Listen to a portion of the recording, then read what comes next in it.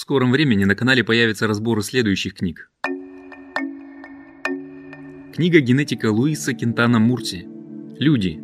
По следам наших миграций, приспособлений и поисков компромиссов. В книге представлены самые последние данные науки, отвечающие на следующие вопросы.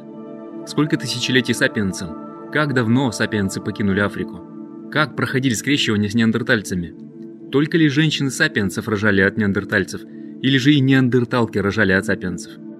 Какие последствия имело скрещивание для здоровья сапиенсов? И многое другое. Книга антрополога Ричарда Ренгема «Зажечь огонь. Как кулинария сделала нас людьми». Это не просто книга о том, как люди научились готовить пищу, а по-настоящему новаторская работа с рядом интересных гипотез, меняющих привычные представления об эволюции Homo. Ренгем показывает, что именно термическая обработка пищи привела к трансформации Homo habilis в Homo erectus, и впоследствии потребление вареной и жареной еды так сильно повлияло на человека, что изменило его организм, направив в ход эволюции по пути увеличения мозга и уменьшения кишечника. Ну а заодно кулинария привела к половому разделению труда и к мужскому господству. Блестящая книга, которую в продаже просто не найти. Ум в движении. Как действие формирует мысль. Книга когнитивного психолога Барбары Тверски раскрывает удивительную связь движения с мышлением. Целью автора является показать, что самые разные виды мышления, включая абстрактное, связаны с действием в пространстве, которое человек производит не только в уме, но и такими органами, как руки, пальцы и глаза. Человек мыслит всем телом.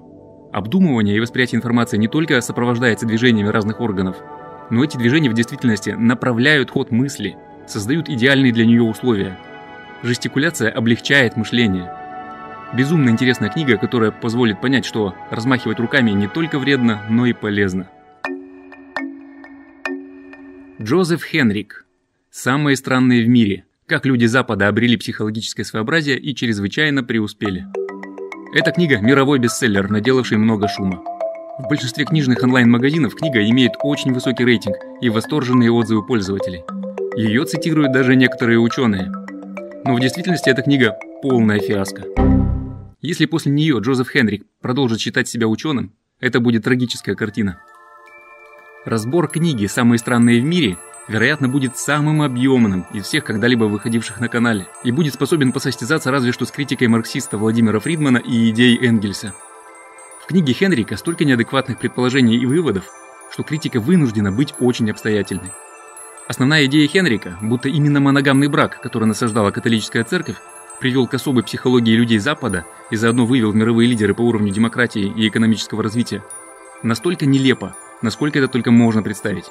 И данные науки совсем не на стороне Хенрика. Ошибок и несуразностей в книге так много, что составить их полный список сможет только полноценная комиссия специалистов самых разных отраслей – в нашем разборе будет приведен хоть и большой перечень этих ошибок, но все же далеко не исчерпывающий. Разбор этой книги появится позже всего, так как потребует долгой работы. Кстати, помимо разбора книг появилась идея делать саммари, то есть краткий пересказ книг по главам, и выкладывать эти саммари на каком-нибудь интернет-ресурсе. Подписчикам может быть интересно и удобно ознакомиться с любой книгой в кратком изложении. В общем, готовьтесь к новым выпускам, будет много интересного.